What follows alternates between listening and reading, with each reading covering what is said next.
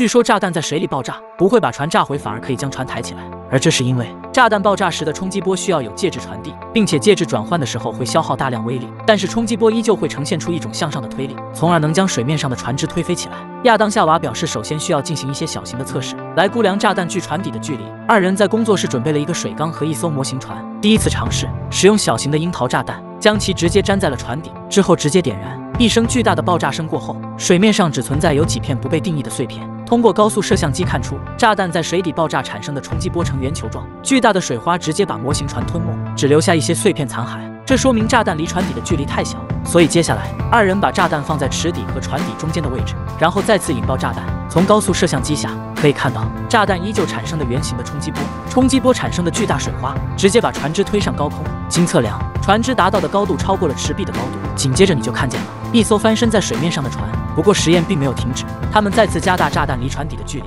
直接把炸弹放在了池底，然后以同样的方式点燃炸弹。令人高兴的是，炸弹产生的冲击波再次把模型船推上了高空，只不过比上次实验的高度小了一点。但是被炸上空的不只是模型船，还有被直接炸漏的水缸。二人立即开始紧急水灾抢救。拯救完水灾之后，他们开始了大型实验的准备：自制的大型船只以及一千磅的消油炸弹。二人来到了一片酸度较高的湖，在这片湖底没有生物的存在，也就给了他们极好的实验场。二人使用大型吊车将船只拉入湖里，并使用绳索将其固定，从而去除漂浮的因素。再扔一些沙袋在黑色炸弹容器里，保证黑色容器能够完美的待在恰当位置。在此基础上，把一千磅的炸弹扔进其中。所有一切准备好之后，二人直接点燃炸弹，然后水面立刻出现了巨大的水花，船只直接变成了碎片。夏娃认为，如果没有准确的距离公式，是不太可能让一艘船实现飞翔的梦想的。很明显，模拟实验跟真实情况还是有差距的。我是但丁，我们下期见。